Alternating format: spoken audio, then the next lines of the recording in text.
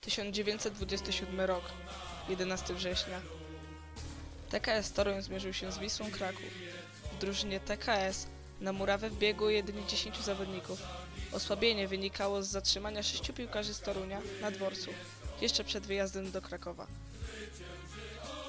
Mecz zakończył się wynikiem 15 do 0 dla Wisły Kraków i był najwyższym wynikiem w historii Ekstraklasy. Dziękujemy za uwagę.